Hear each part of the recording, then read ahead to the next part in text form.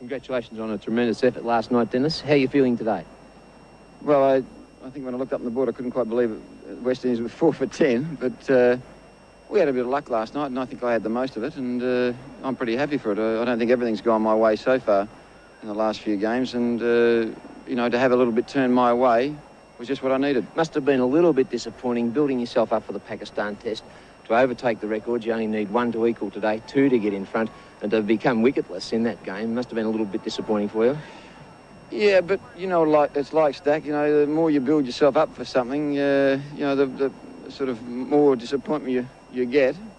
Um, I obviously felt the pressure of people saying to me all the time that this is the, the test and whatever.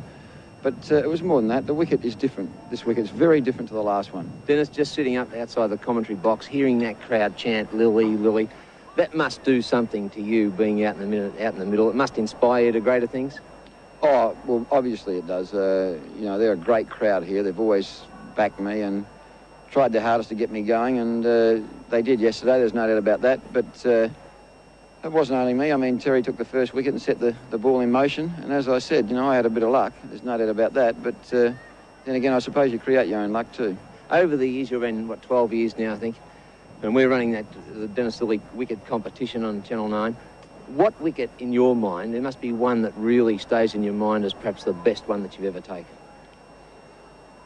Uh, it's difficult, Stacky. I don't really think back that much. Um, I think there's been a few that I can think of just off the cuff, but not necessarily the best. But I think when I got Boycott in uh, 72 at Lords with the one that sort of bounced into his shoulder or, or, glove and shoulder and then rolled over his shoulder and onto the, the wicket, I mean, that was a sensational wicket.